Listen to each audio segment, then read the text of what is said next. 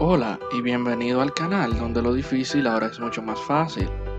Este video va a petición de los estudiantes del Politécnico Víctor Manuel de Santiago, en el cual vamos a tratar la regla de la cadena en el caso que hay potencia. Si tenemos una función y igual a u elevado a la n, donde u es una función diferenciable en x, lo que quiere decir es, de una forma muy similar a la de la regla de potencia, vamos a derivar, derivamos y, vamos a tener y', y eso va a ser igual, el exponente viene a multiplicar y se le resta 1.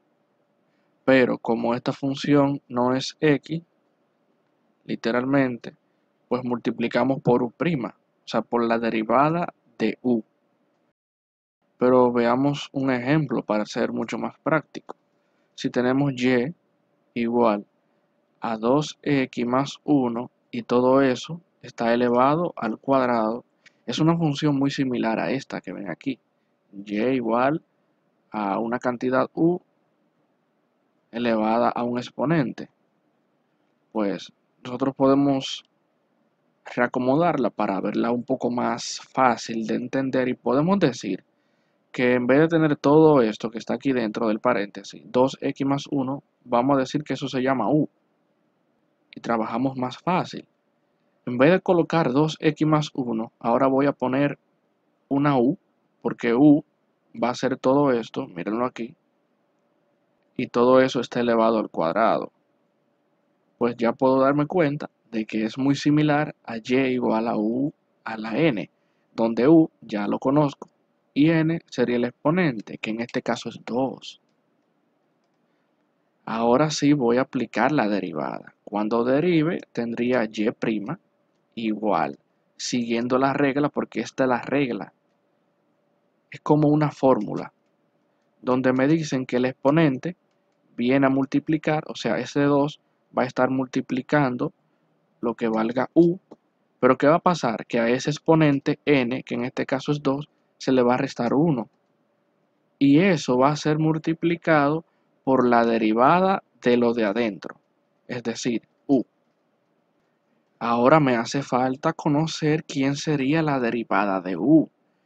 Ok, simplemente voy a derivar aquí para saber quién sería la derivada de u. Pues recuerde que cuando derivamos una suma, simplemente sería derivar 2x más la derivada de 1, que sería la derivada de una constante. Y aquí al derivar 2x, recuerden que la derivada de 2x sería 2.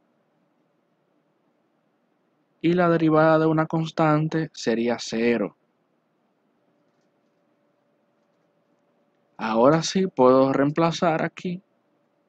¿Qué va a pasar aquí en el exponente? 2 menos 1 sería 1 y eso va a ser multiplicado por lo que valga la derivada. Pero ¿cuánto vale la derivada? 2. Coloco este por y ahora voy a multiplicar. 2 por 2 sería 4 y u a la 1 es u, es lo mismo. u a la 1 y u es lo mismo. Pero recuerden quién era u porque hay que volver a la variable original. u era 2x más 1 entonces tengo cuatro veces lo que vale u, que sería lo mismo que tener cuatro veces o 4 por todo lo que vale u. Por eso lo pongo entre paréntesis. Sería 2x más 1. Eso era lo que valía u. Ahora simplemente voy a multiplicar para romper el paréntesis.